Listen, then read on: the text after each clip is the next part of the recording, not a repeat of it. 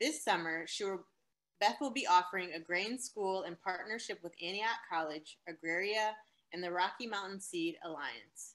I can't think of a, a better person to introduce our keynote speaker, Beth Bridgman. Thank you, Ariella. I really appreciate that. It's a great honor to introduce Ira Wallace today. I first met Ira at a Seed Savers Exchange conference in 2014. And um, each year I enjoy getting the seed catalog from Southern Exposure Seed Exchange. We have talked today about food sovereignty, but there can be no food sovereignty without seed sovereignty. And I honor the importance of the work of Southern Exposure Seed Exchange and the work they're doing to increase variety as climate change continues to challenge what and how we are able to grow. Our knowledge of seed is embedded knowledge, or sorry, embodied, embodied knowledge. And in my own seed work, we focus on the great remembering, the seed stories, and the reaccessing of what we have always known. Not long ago, one of my students was interested in stories from seed stories from the African diaspora. And I suggested that she reach out to Ira, who graciously agreed to be interviewed. We now have these stories archived at Antioch. Ira Wallace is a worker owner of the cooperatively managed Southern Exposure Seed Exchange, which offers over 700 varieties of open pollinated heirloom and organic seeds selected for flavor and regional adaptability. Southern exposure helps people control their food supply by supporting sustainable home and market gardening, seed saving, and preserving heirloom varieties. Iris serves on the boards of the Organic Seed Alliance and the Virginia Association for Biological Farming. In addition, Ira is a member of Acorn Community, which farms over 60 acres of certified organic land in central Virginia, growing seeds, alliums, hay, and conducting variety trials for Southern exposure. She's a co-founder of the Heritage Harvest, Festival at Monticello, a fun, family-friendly event featuring an old-time seed swap, local food, hands-on workshops and demos, and more. She presents at events throughout the Southeast. She currently writes about heirloom vegetable varieties for magazines and blogs, including Mother Earth News, Fine Gardening, and Southern Exposure. She also conducts variety trials for Southern Exposure Seed Exchange, as well as researching and documenting the history of varieties offered in the annual catalog. Her book, The Timber Press Guide to Vegetable Gardening in the Southeast, and new state-specific book series, including Grow Great Vegetables in Virginia, are available online and at booksellers everywhere. Ira is currently working on creating an African diasporic seed collection. This is a legacy project for this 70-year-old seed saver, organic farmer, and heirloom seed pioneer, who is inspired by the work of Leah Penniman and the folks at Soul Fire Farm.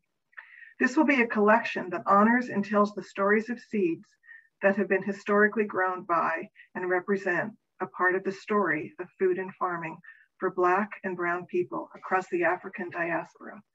I'm so pleased to introduce Ira Wallace. Hi, Beth. Thank you for that great introduction. Let's see if we can get my PowerPoint up here. do you want me to do it? Yeah.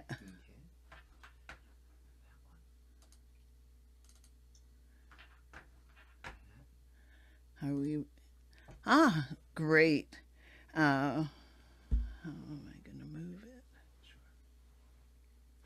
Hi, I'm going to talk a little bit about heirloom seeds and their stories and about southern exposure and a little bit how uh, I got into all this. So let's see how we go. Heirloom seeds, we'll start out with defining that and some uh, uh, so that we know we're talking about open pollinate seeds, ones that have been passed down through the generations. Family heirlooms are a special subset of that that we uh, get a lot of at Southern Exposure. And we really think it's important that these heirloom varieties be maintained. One of the things that gives urgency to the work that we do with making varieties available is the outside uh, climate. And this chart of concentration of uh, seed companies and the ownership of many of the open pollinated seed varieties by large uh, petrochemical uh, companies throughout the world, it has uh, really given urgency to our work in the last 20 years. Uh, another thing that is a background that uh, I didn't actually become aware of until a few years ago is the unwritten story of all of these black historical farmers who uh, developed varieties and were the backbone of agriculture, especially here in the Southeast where I live. Uh, and it's only in indirect records that we're able to bring uh, that uh, knowledge out, and we'll do some of those stories. And then I wanted to uh, just take a minute and honor Tuskegee uh, Institute and its role historically in uh, bringing education and what a lot of what we call extension now uh, to the country. I uh, especially uh, honor the work of George Washington Car Carver. Um, and for myself, how did I get into this? I happen to be this whole seed saving business. Well, I grew up with my grandmother, of course, who uh, was a gardener and did seed saving mostly uh, of flowers. But, uh, I happened to move to uh, Cedar Grove, North Carolina, near Chapel Hill, at the time that uh, the North Carolina Botanical Gardens was doing a lot of work uh, with plant rescue and starting habitats and uh, seed saving of native plants uh, of North Carolina.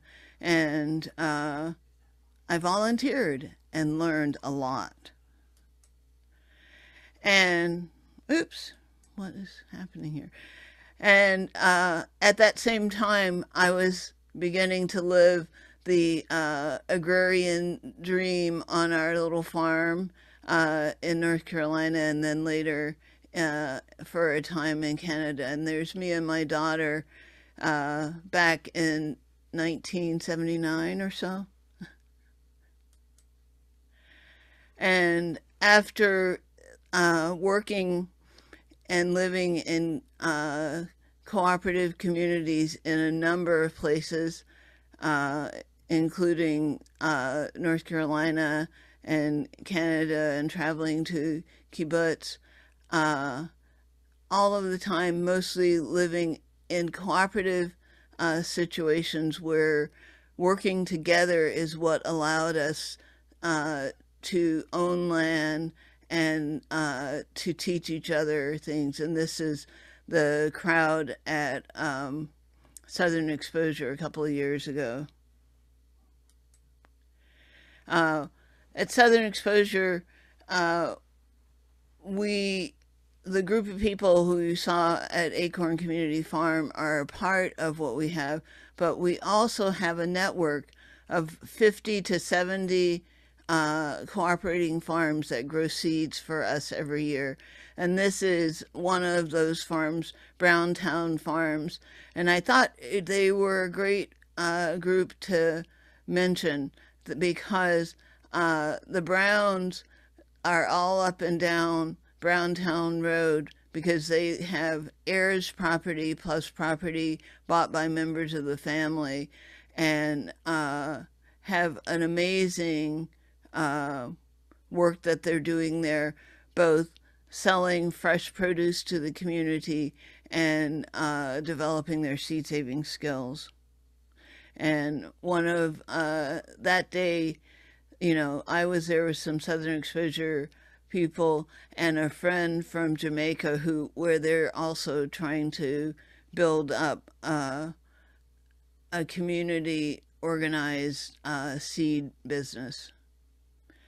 Here's Amira Mitchell, and uh, she is an important young woman in that she has been teaching seed savings to all kinds of people in the Philadelphia area and uh, also throughout the Southeast as a part of our Southeast Seed uh, Saving Network and has become a principal uh, teacher for the emerging Ujamaa uh, collective seed growers.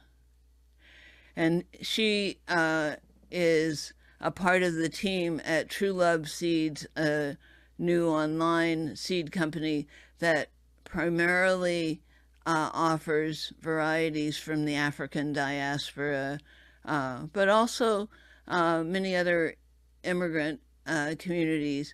And I just like seeing the so many brown and black faces in a, a seed company. We'll tell our first story, and this uh, fish pepper, which is known because it's the only variegated uh, heirloom uh, pepper that we know about, and it is an heirloom that's well known in the eastern shore of Maryland. And some people say it's hard to uh, prove this that all of the fish peppers that you find in heirloom catalogs now were descended from seeds uh, saved by a black man named Horace Pippin and then traded in exchange uh, with the grandfather of seed saver William Woys Weaver. Uh, but what we do know is that this pepper is uh, well known, uh, you know, as a fish sauce uh, and other hot sauce amendment in Maryland.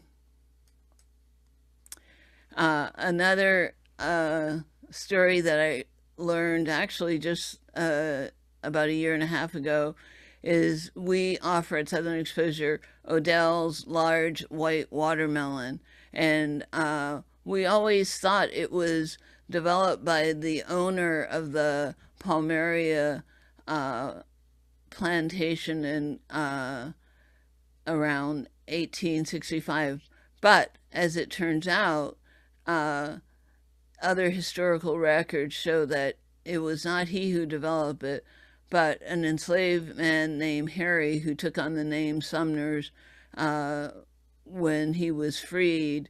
Uh, and this uh, watermelon is particularly well known because it came up during a time of a hotbed of developing new, sweet, uh, thin skin uh, watermelons, including the Bradford watermelon, which uh, nowadays saves, sells for a dollar a seed.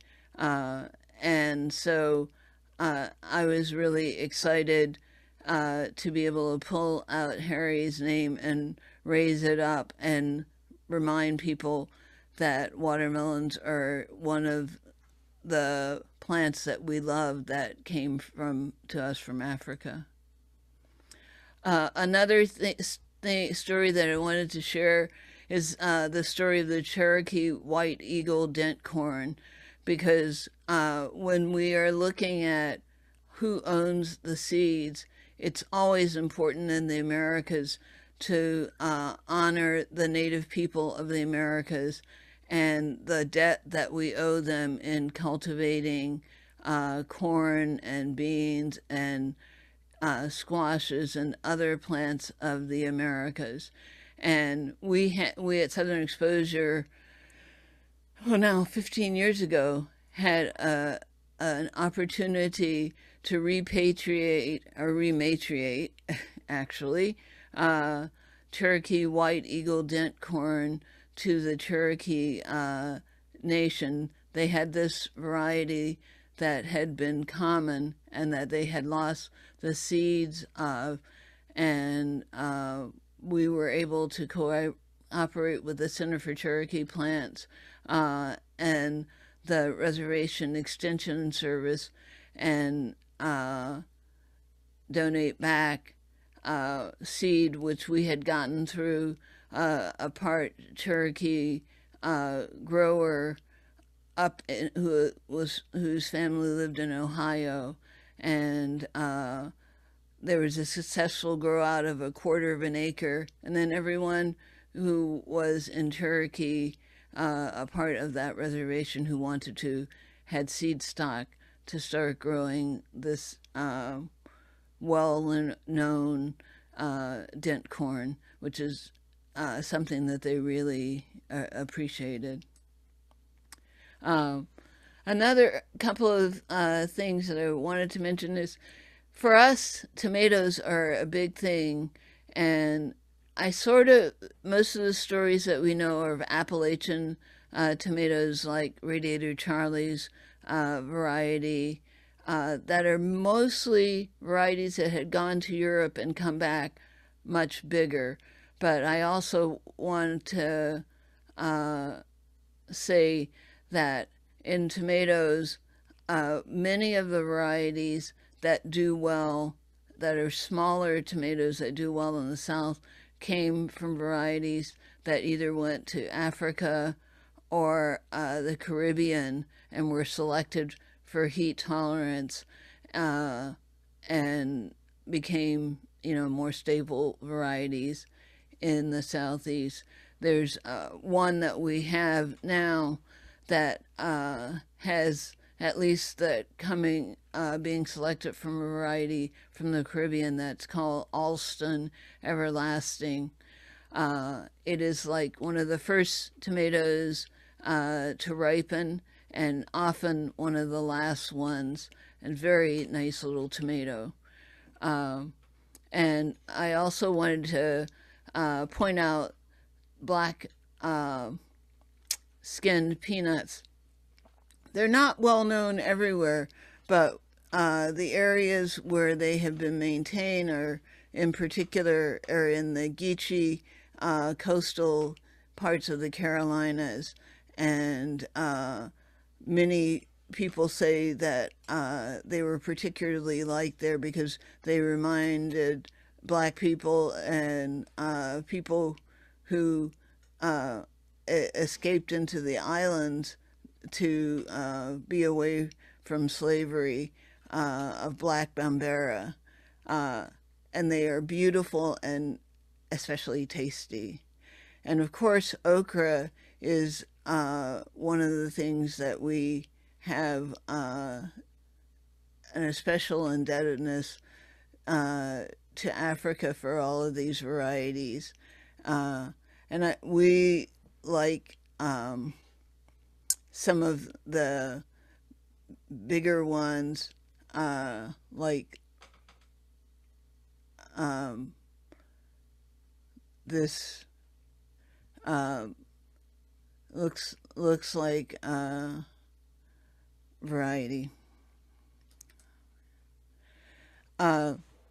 I put in uh, Ellen's family heirloom because it reminded me of uh, the records at Monticello that show which varieties um, Jefferson bought from enslaved gardeners and uh, workers there. And uh, cucumbers in the winter was something there, and it's unclear whether actually it was uh, one of the white uh, cucumbers like this or perhaps one of the Armenian cucumbers, which are really um, a, a kind of melon that is eaten whole, skin and all, as a cucumber.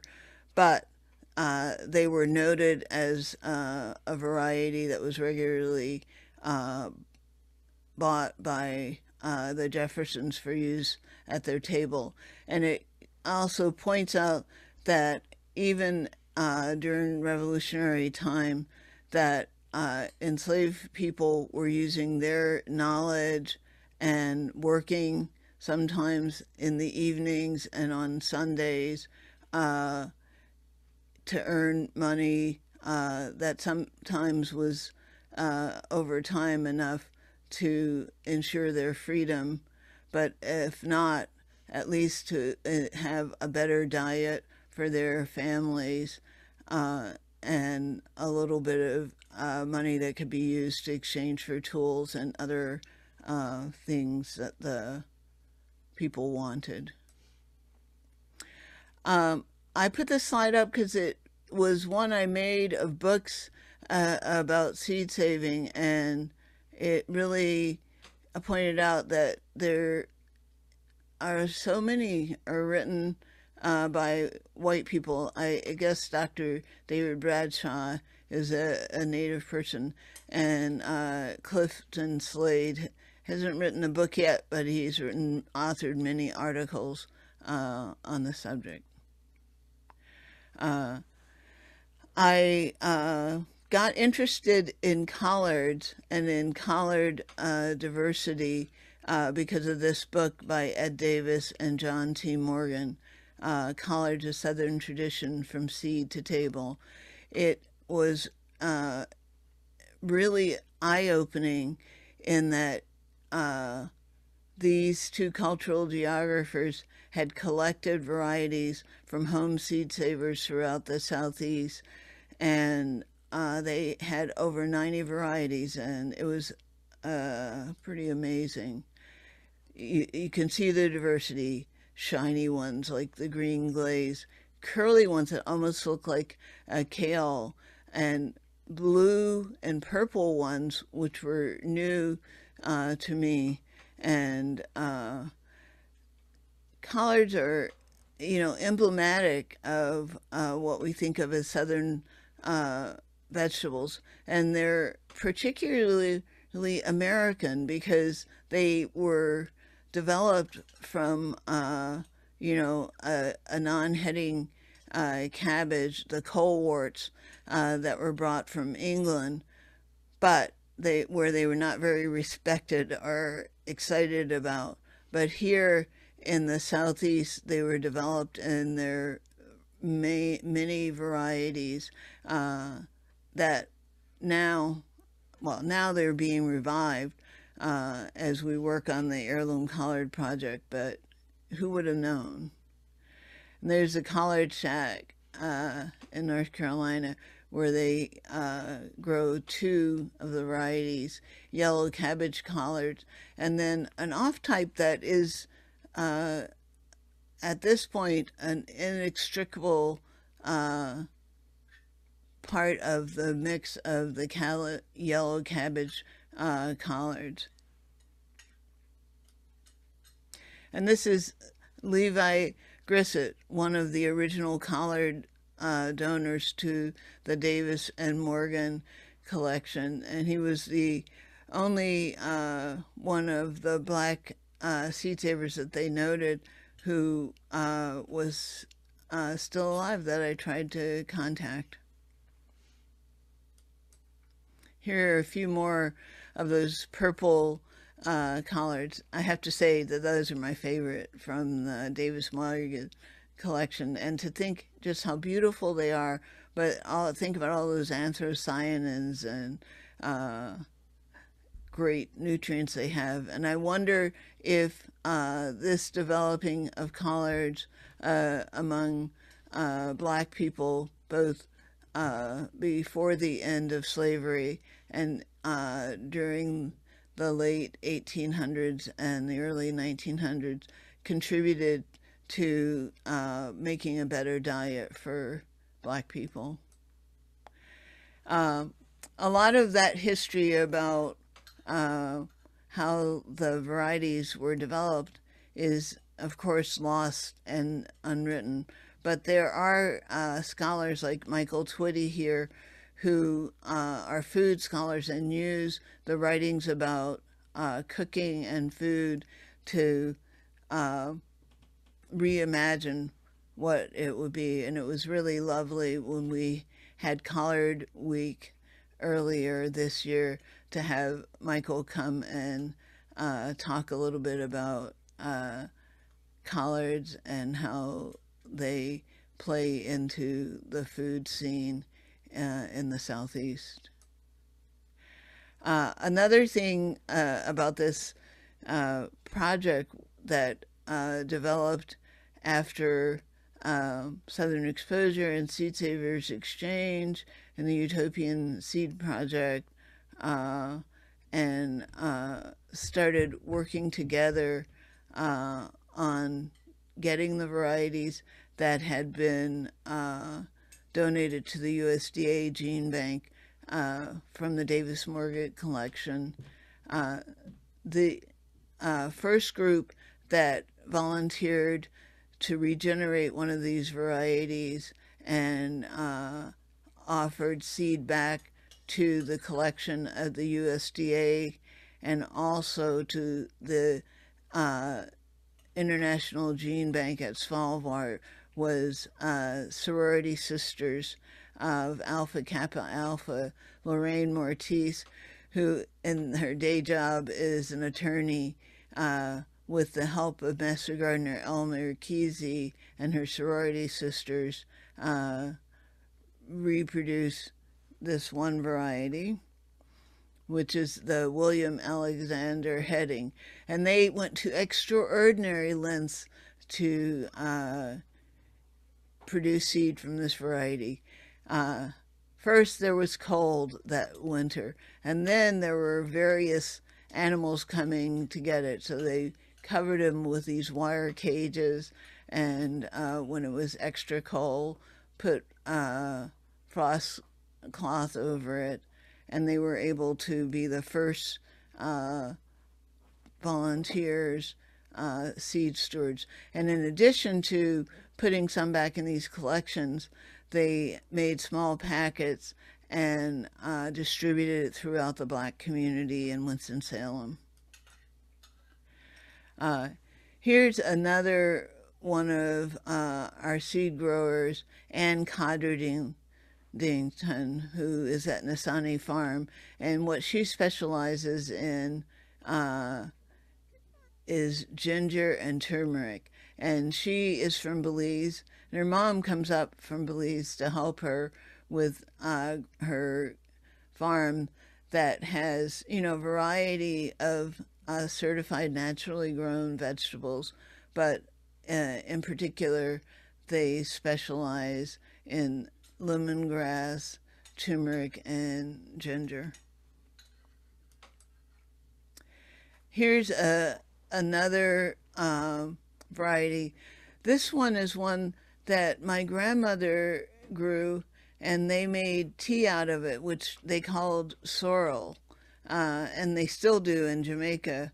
But this is Roselle, Hibiscus sabdariffa, and uh, I didn't think about it, uh, but I was traveling uh, mm, 30 years ago in Egypt, and we uh, got invited to a Nubian wedding, and there was this thick, red, sweet uh, drink that was served that they call karkadi, and uh, come to find out that this was uh, their Egyptian version of Roselle, and how that so all came around is about 10 years ago, uh, I started looking at varieties because uh, actually the people at Baker Creek were offering some seed for sale. And so I started gathering up all the roselles that we could. And this red roselle uh, turned out to be uh, the most productive at our farm in Virginia. And since then, we've uh, offered another one. But when I was uh, in Jamaica uh, on a farmer to farmer learning exchange, uh, I realized that this is like uh, a national drink almost in Jamaica. Everywhere it, it is there, and they make jams, and uh, yeah.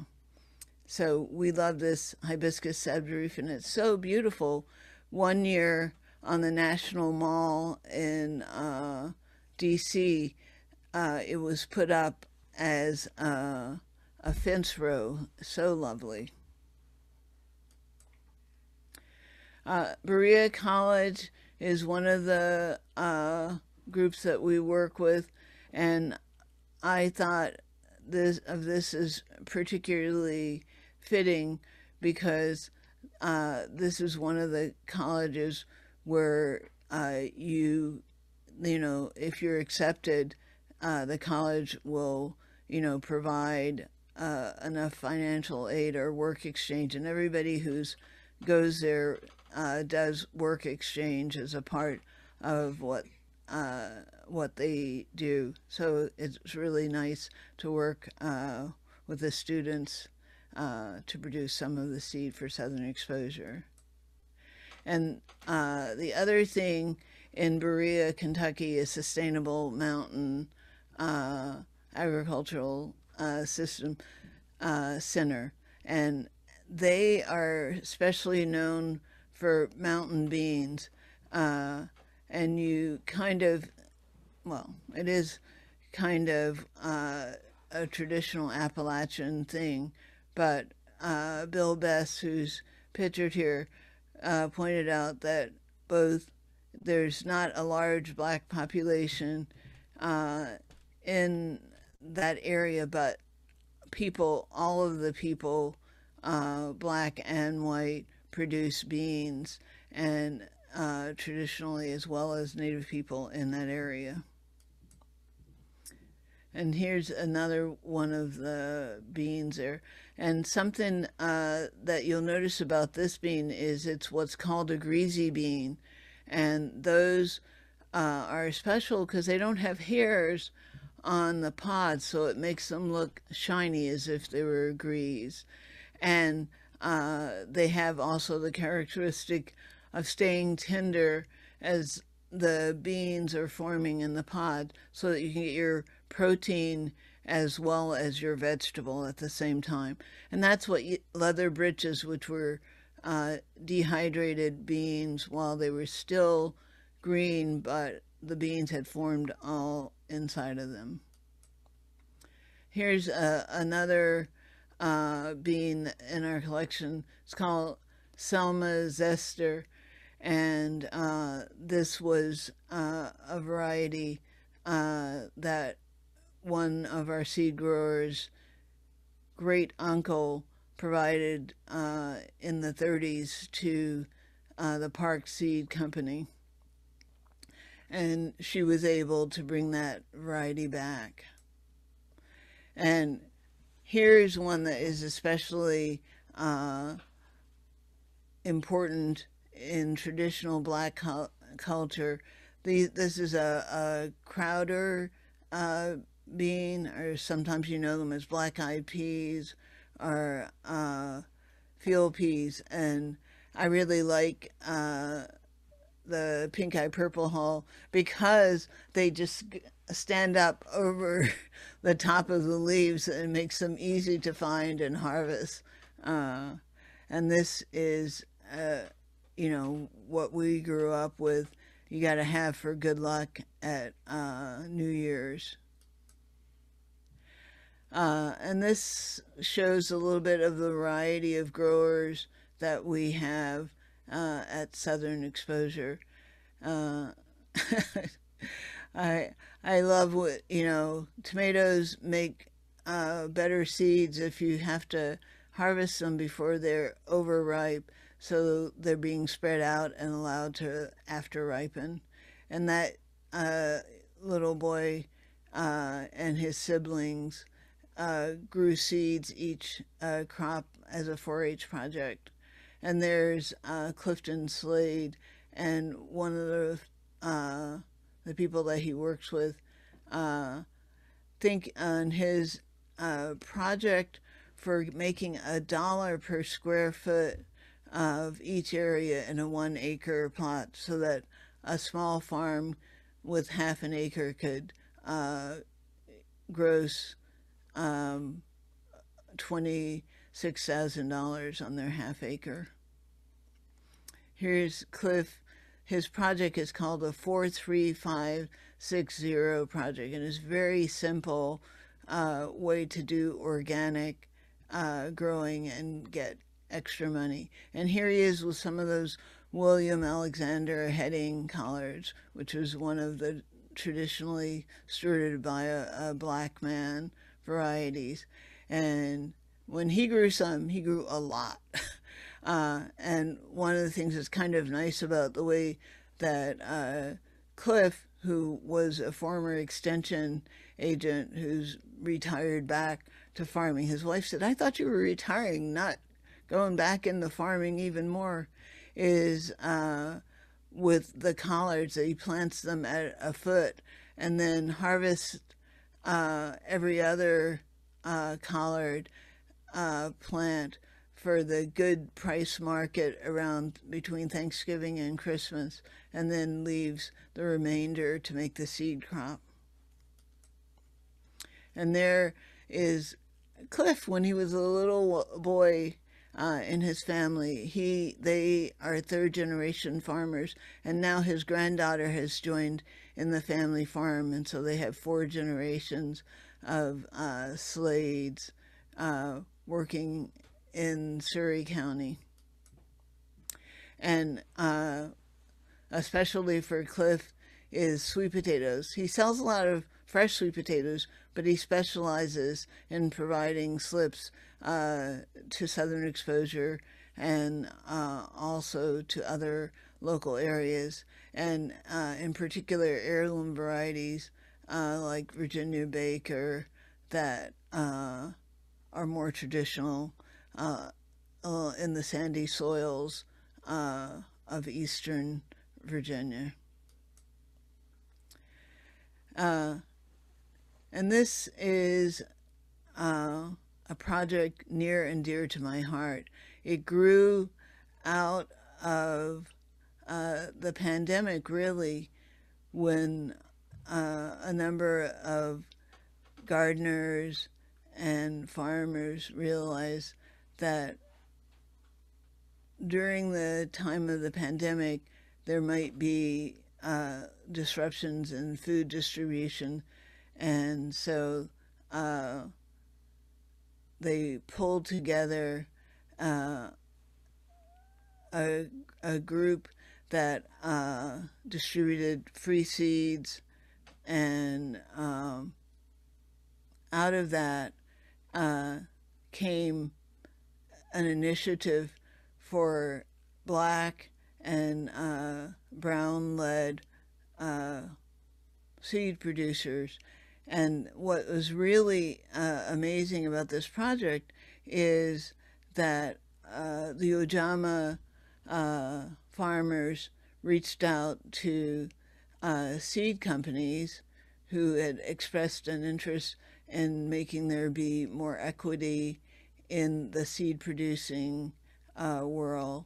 And that group, many far many companies uh, in that group offered uh, financial and logistical support for this emerging Ujamaa connective. Here's another uh, person who's involved with that, Michael Carter Jr. And uh, in addition to being a part of the Ujamaa collective, Michael Carter has uh, three or four sons who run Carter Brothers Seeds, which is a seed company run by these uh, young uh, farmers to be with the help of their father.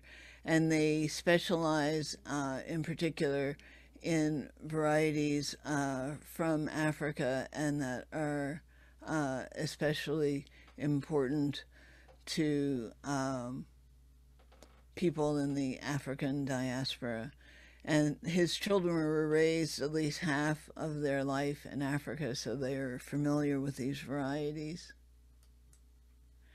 Here's one of those unusual things from Africa, Sokoyokoto African celosia.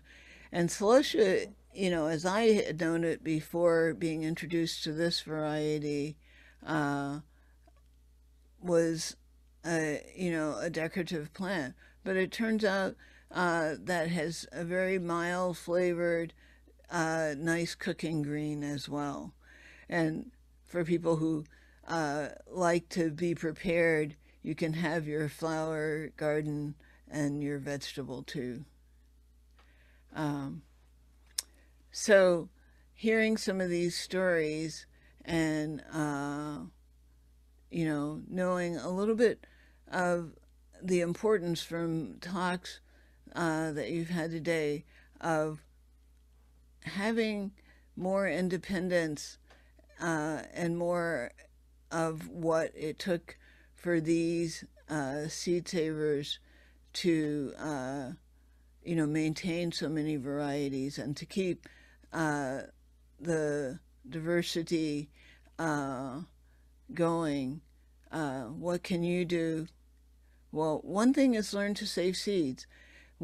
In my work with uh, seed savers, I've discovered that many families of seed savers only maintain, you know, one or two varieties that are particularly important to them.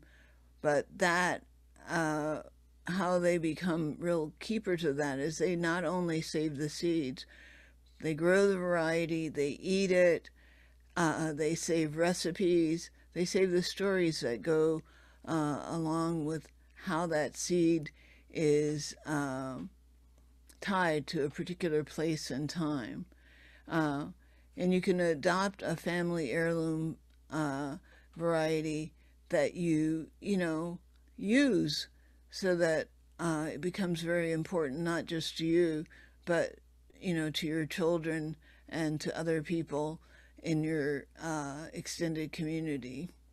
And then uh, another thing that you can do, even if you're very limited in your seed saving ability, is to grow heirloom and open pollinated varieties. And that act in itself is a pushing back against the consolidation and the tendency to uh, have seed companies offer more hybrid seeds, more GMO seeds, other things that you as a gardener or farmer cannot maintain yourself. And, uh, you know, vote for diversity with your seed dollars. I, you know, I mentioned the Carter Brothers Seed Company, but often at your local farmers market, those farmers who are maintaining something special will have seeds of those varieties. Uh, if you like them, buy some, grow them, save seeds yourself. Uh, and yeah, this is uh, an important way not only to nurture the seeds, not only to carry forth the uh, stories, but to gain more control over our food supply. Uh, I think we started out actually in the intro uh, mentioning that Leah Penniman and the folks at Soul Fire Farm who really raise up the fact that African people were not just brought to this country to be labor, but brought because of uh, their knowledge. Uh, you know, like if you look at um, the cuisines say, in the Carolinas along the coast, especially in the Charleston area, uh, African were people, enslaved people were brought there to develop that rice culture. And it was there where the peppers from the America, the uh, seafood from the ocean, and the rice that was uh, grown by the enslaved people were the center of what we know now as low country cuisine. And it's really uh, was inspiring to me to look at how many uh, agricultural techniques, how many, you know, how many varieties of food uh, were brought by African people to this country and how much uh, even though we own very little of the land in this country, how much influence we've had on the agriculture and the food culture uh, of this country that we live in. And I mentioned uh, Michael Twitty before.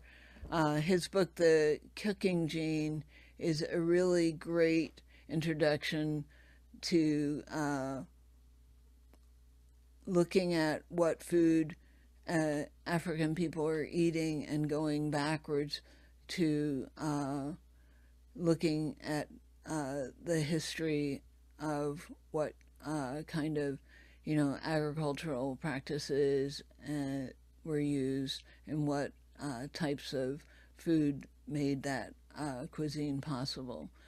And uh, yeah, another thing is during the civil rights days, it was being able to have grown your own food and put it up was one of the things that allowed black farmers to be able to be hosts to freedom riders and to take an active part uh, in those protests at that time.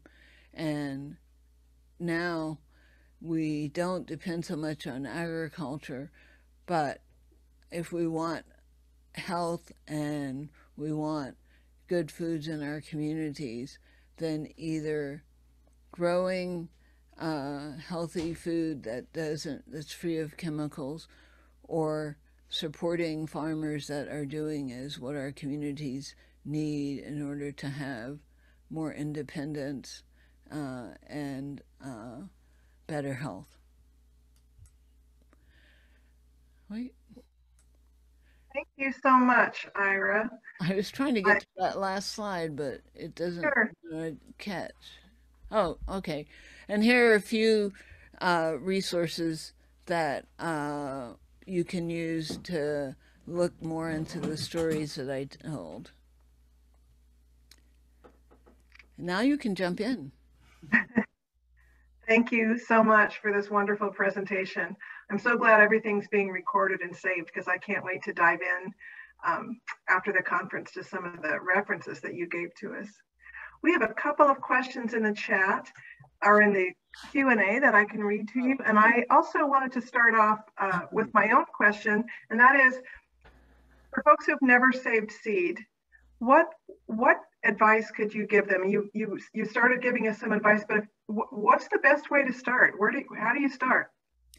Well, uh, there are a few things that are easy, and I showed you a few beans because for many people, beans are the gateway to seed saving uh, because they're big seeds uh, and they're easy to see. And here's the real trick is once uh, your beans uh, have gotten to the size uh, where they're swelling the pod and the pod has turned yellow and is starting to get flaccid, you can bring them inside if you're going to have extremely bad weather uh, and let them finish drying inside, or if frost is about to catch them.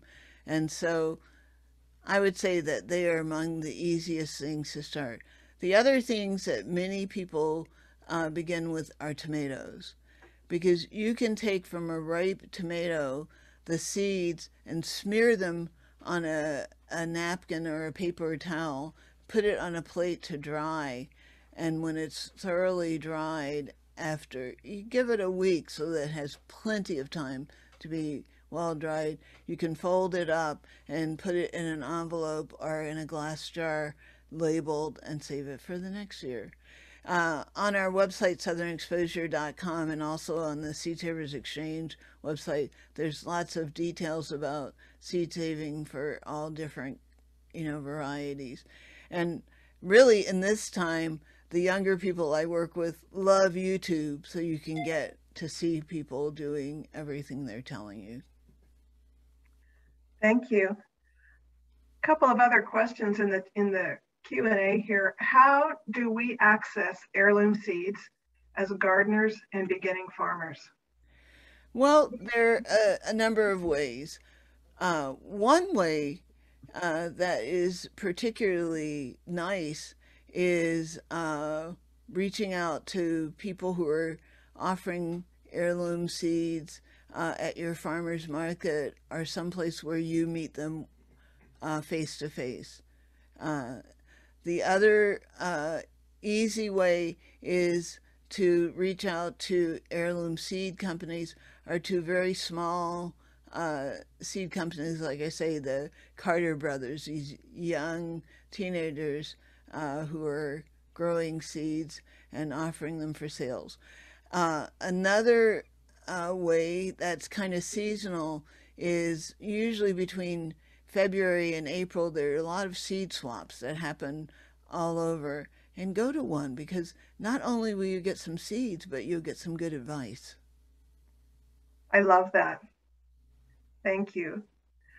Uh, one question that came up early on in the beginning of your talk, uh, when you were talking about the fish pepper, here's a question. Uh, when you were talking about Horace Pippin, uh, were you referencing Horace Pippin, the Afro-American artist from early? Yes, that is him. Oh, that's exciting. yes. Okay. I, I, I meant to say that and I forgot. Yes, he how he ended up uh, giving uh, these exchanging seeds uh, with William Woys Weaver's grandfather is that he needed some bees for treatment for arthritis, and uh, and the Weavers uh, had beehives, and so he traded various produce, but including the fish pepper, which then uh, was added to what was called a roughwood collection and maintained uh, with that history attached to it. That's what I love so much in my own work is the stories behind the seed, and that's uh, that's so exciting. Um, thank you for sharing that. One other uh, final question was if anyone, uh, you know, maybe is already saving seed. You mentioned several different people who are saving for southern exposure. If you wanted to save seed, grow, grow out seed and, and participate in saving it on behalf of southern exposure, what what is that process? Uh, well, usually you write an email or a letter and we send you a grower questionnaire which will ask you about your experience uh, and uh, you know as a gardener or farmer and uh, you know direct you toward whether you would be, you know, some people work on regeneration and we would say uh, they want to grow a small amount to maintain something or, you know, other people aspire to growing larger amounts to have it be a significant income for their farm. So you start out with that. We give you some advice about what you, we think might work. If you have no experience, we say it's best to take a small risk both for the seed company and for the seed grower. Uh, and uh, one of the things, you know, that uh, I think, you know, I think we do a pretty good job, uh, but uh, I'm very excited about this new Ujamaa uh, seed collective because a part of the work of Ujamaa is more direct uh, education. And so uh, there are a lot, uh, it's, it's pretty exciting having more black farmers who are reaching out and training each other. Uh, because one of my disappointments with Southern Exposures, we have some black seed growers, but not nearly as many as I would like. And when Ujamaa came and, uh, you know, got involved, actually, more directly with that food justice initiative uh, during the pandemic, it, it drew out people who had not thought about seed saving for themselves at all. And we're excited. We're excited to have people interested in uh, southern exposure, and we uh, are particularly excited to help uh, stand up this new initiative that maybe will bring more black people into this kind of white seed world. Thank you. We have one final question from Carmen Holmes who said, is it better to store seeds in glass jars or brown paper? I'm keeping them in baby food jars. And then she has another question, how can I join a group? Well, uh, the uh, baby food jars are good. Uh, Kew Gardens did a, a trial uh, on what was good, and they actually said that canning jars are among the best commonly available things to keep seeds in. Uh, but paper bags you can use inside your canning jars. Wrap, you know, put your seeds in either envelopes or brown paper bags and label them well, and then you can put several varieties in the same jar. And how can you join a group? Well, you can always join like the Seed Savers Exchange or Ujamaa, uh, and you know if you send an email uh, to Southern Exposure, uh, I'll also direct you to what groups I know of that are in your area. Although you know the Seed Savers Exchange member listings and exchanges happen online, so you don't have to be too close to people. Although being close is extra nice. Thank you so much for this wonderful talk. Uh, we really appreciate it.